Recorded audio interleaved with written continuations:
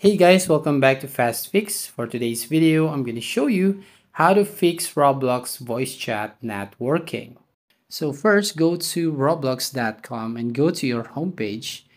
Now click on the settings at the top right corner of your screen and then click on settings right here and wait for a few seconds. Now right here on my settings on account info, you need to make sure that your age is already verified.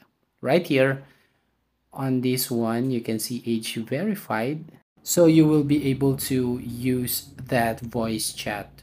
So go over here on privacy. You need to toggle on this voice chat or enable voice chat right here. So you must uh, verify your age right here. But if you not fix and you're not verified, you can go to help and try to ask the Roblox team and try to fix them up.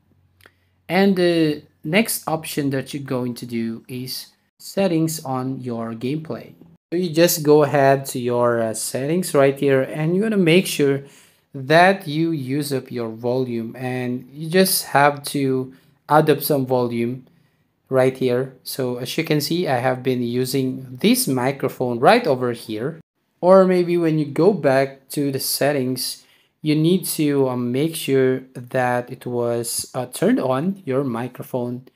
And also on the settings you need to make sure that you actually go into the input device right here. So just select your microphone device that you are using on your computer so you can be able to use this voice chat. So that's it. If you find this helpful don't forget to like and subscribe to the channel and hit the notification bell to notify you on the next video